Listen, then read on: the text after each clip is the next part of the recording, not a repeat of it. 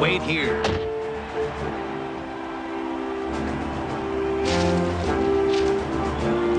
Huh?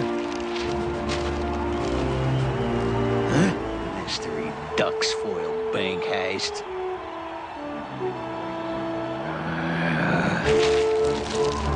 I can remember when a duck was a meal, not a headline. Well, this is sad news indeed for Duck fans. It looks like the Mighty Ducks' season-long winning streak may be coming to an end. They're tied with the Maine Quahogs with 40 seconds remaining. At Quahog Center, Jean-Luc Moskowitz is aiming to score again.